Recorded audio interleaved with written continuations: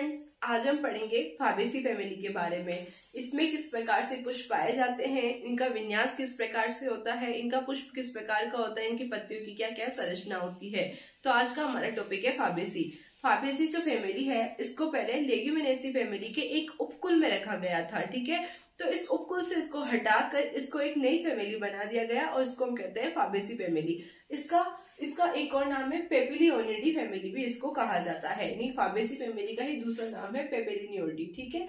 इसकी काय का विलक्षण क्या है? ये वृक्ष, जाड़ी, शाख तीनों पाए जाते हैं। यानी कुछ जो इसके सदस्य होते हैं वो वृक्ष होते हैं, विशाल काय होते हैं, कुछ होते हैं जो झाड़ी होते हैं। झाड़ी यानी जिनका बुरा तना होता है उसे हम झाड़ी कहते हैं। कुछ जो होते हैं वो शाख होते हैं शाखी यानी कि कोमल तना, इनका होता है, ये हरे रंग के होते हैं, तीन से पाँच सेंटीमीटर तक इनकी लंबाई होती है। इनके कम, कोमल तने होते हैं, प्रकाश संश्लेषण ये कर लेते हैं, पौधों के लिए भोजन ये बना लेते हैं, ये शाखी कहलाते हैं। इनके मूल ग्रंथियाँ सहित मूल पाई जाती है। इनमें क्या होता है, इनकी जो रूट होती है, उनमें ग्रंथियाँ पाई जाती है, यानी छोटी छोटी गांठें पाई जाती है। इनका क्या कार्य होता है, ये नाइट्रोजन का स्थिरीकरण कर लेती है।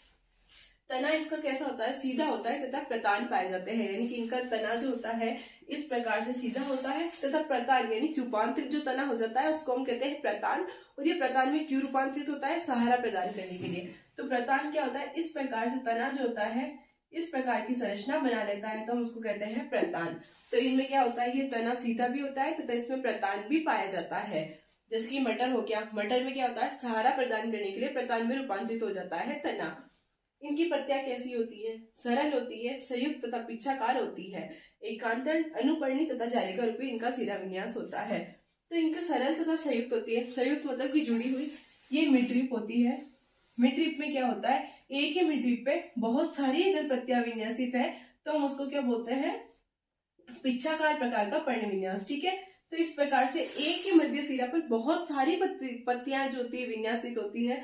तो हम इसको कहते हैं पिछाकार तथा संयुक्त प्रकार का पर्ण विन्यास ठीक है, ये सरल होती है, एकांतर होती है, यानी कि एक नोड से सिर्फ़ एक ही लीफ का निर्माण होता है, इसलिए हम क्या बोलते हैं, ये एकांतरित होती है, आमने सामने होती है। और ये क्या होता है मिड ट्रिप पे बहुत सारी पत्तियाँ विन्यासित हो गई तो हमने इसको बोला ये पिछाकार भी होती है।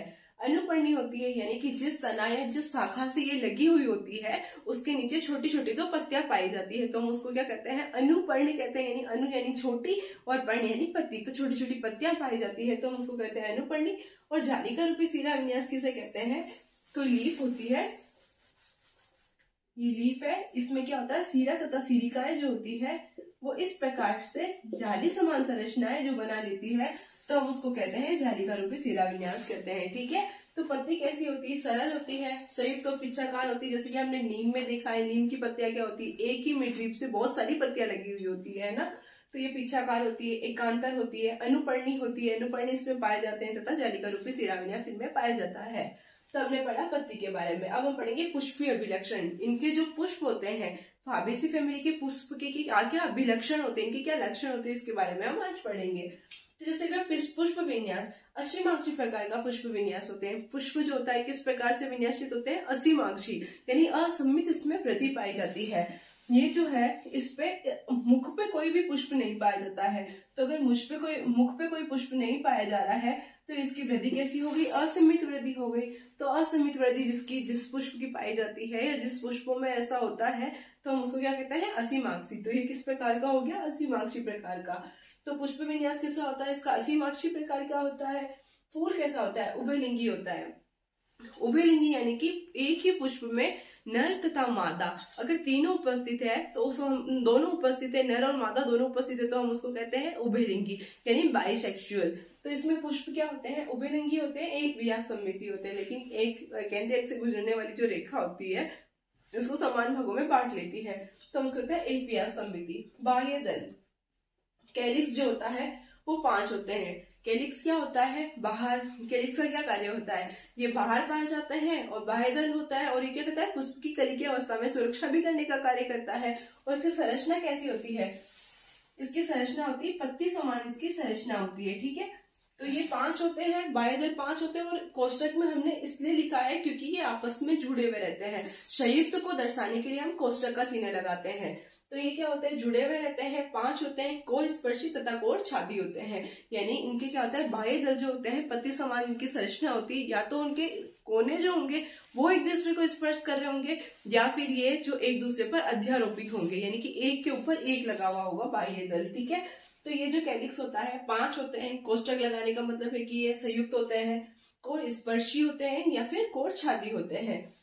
दल जो होता है, दल का क्या कार्य होता है? हमने पढ़ा था कि दल जो होता है, रंगीन होता है कलर्ड होता है, कीटों को अपनी तरफ़ आकर्षित करने का कार्य करता है ना? तो दल जो होते हैं, वो पाँच होते हैं। और किस प्रकार से विन्यासित होते हैं? इनका पुष्प दल विन्यास किस प्रकार का होता है? वेक्सिलरी प्रकार का। तो वेक्सिलरी प्रकार का पुष्प विन्यास किसे कहते हैं या कैसा होता है वेक्सिलरी प्रकार का पुष्प विन्यास? एक जो होता है, एक जो दल होता है, वो काफ़ी बड़ा होता है, ठीक है? वो पश्चिम में होता है। दो अग्रदल होते हैं, वो छोटे होते हैं और तथा दो अग्रदल, दो पश्च दल पाए जाते हैं। यानी कि एक जो दल हो गया, वो काफ़ी बड़ा हो गया। दो अग्रदल आगे और दो पश्च दल पीछे की तरफ़ होते हैं। तो इस प्रकार का जो दल विन्यास या इस प्रकार से जो पुष्प व्यवस्थित होता है, दल जो व्यवस्थित होते हैं, उसको हम क्या कहते हैं? वेक्सिलरी प्रकार का पुष्प दल विन्यास। तो इसमें क्या होता है? पाँच पाँच जो पाए जाते हैं, दल पाए जाते हैं। वेक्सिलरी प्रकार का पुष्प दल विन्यास इनमें पाया जाता है। फिर हम पढ़ेंगे पुमंग। पुमंग क्या होता है? पुकेशर। पुकेशर होते हैं, वो दस होते हैं। तथा क्या होता है? द्विकोष्ठी होते हैं। इनमें दो कोष्ठ पाए जाते हैं। हमने पढ़ा ये नर्जन नंग होता है ना पुष्पों में तो इसमें दस पुकेशर होते हैं और ये क्या होता है? द्विकोष्ठी होते हैं। जायांग जो होता है माला जन्नांग कहलाता है, यानी गाइनोशम होता है। इसमें क्या होता है? एक अंडा बनता है उधर वृद्धि होता है, यानी कि ये बीच में पाया जाता है। और बाकी जो भी अंग होते हैं पुष्प के, वो नीचे की तरफ़ पाए जाते हैं और अंडा जो होता है वो ऊपर की तरफ़ पाया जाता है। और ये सिर्फ़ क्या होता है? एक अंड ही होता है, ठीक है? तो एक अंड पे उद्रवृद्धि होता है। इसमें फल जो होता है वो लेग्यूम होता है। सबसे इम्पोर्टेंट ये कि लेग्यूम जो फाबेसी फैमिली फाबेसी फैमिली का जो फल होता है वो क्या कहलाता है? लेग्यूम कहलाता है, ठीक है? अब हम पढ़ेंगे पुष्पी सूत्र। इसमें ये जो सिंबल होता है, ये होता है त्रिज्या सम्मित का। त्रिज्या सम्मित क्या होता है?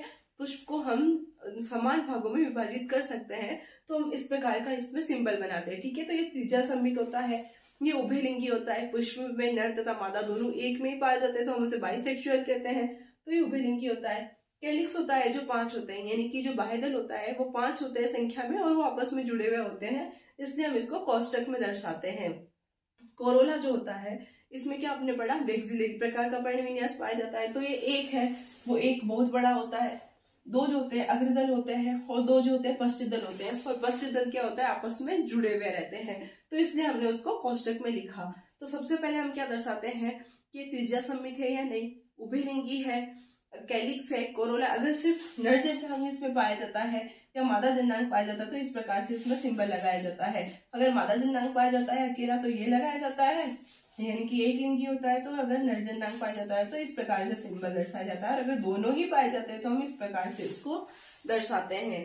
तो इसमें क्या होता है त्रिजा समित हो गया, उभयलिंगी होते हैं, कैलिक्स जो होता है, पाँच होता है, कोरोला होता है, वो भी, कोरोला भी पाँच होता है, लेकिन इसमें वेक्सिलरी प्रकार का दल विन्यास पाया जाता है, इसलिए हमने इसको इस प्रकार से दर्शाया।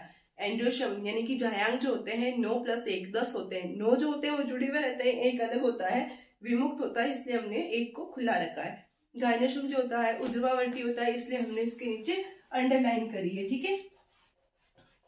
और एक अंड भी होता है, इसलिए हमने इसको एक करके दर्शाया है।